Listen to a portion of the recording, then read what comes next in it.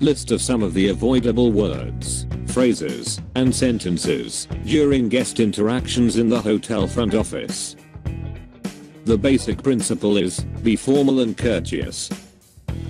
Humans are emotional by nature. No one should be hurt by our words, gestures, and actions. The list starts below. Yeah. Okay. Alright. Oops. Ouch. Oh gosh. Never. No way. I don't know. That's not my fault. Why? What? That's not possible. You are wrong. She is wrong. Hello. Hi. Bye.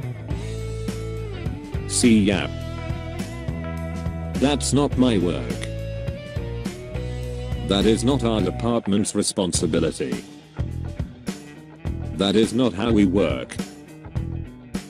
I don't think so. You don't teach me hospitality. My boss is useless. He is terrible and incompetent. This hotel is terrible. I hate working here. I'm working all alone. My colleagues are so irresponsible. Finally, do not openly criticize someone. Avoid slangs,